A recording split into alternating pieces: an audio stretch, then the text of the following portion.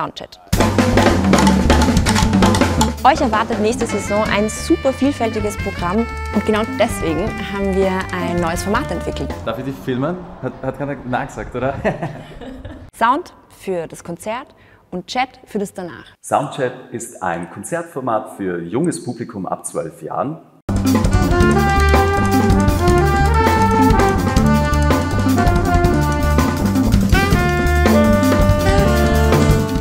Shakes Du, die Amadeus Award-GewinnerInnen, bringen ihre hippe Mischung aus Jazz, Afrobeat und Gospel-Einflüssen in einer relativ unkonventionellen Besetzung, nämlich zwei Schlagzeugen, zwei Bässen und drei Blasinstrumenten hier in den Mozartsaal.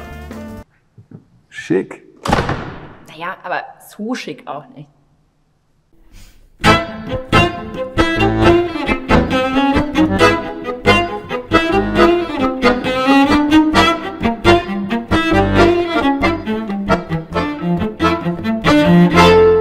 Maris Behmann und Christian Bakanitsch, die sich bewegen zwischen Folk, Pop, Tango Nuevo und Jazz.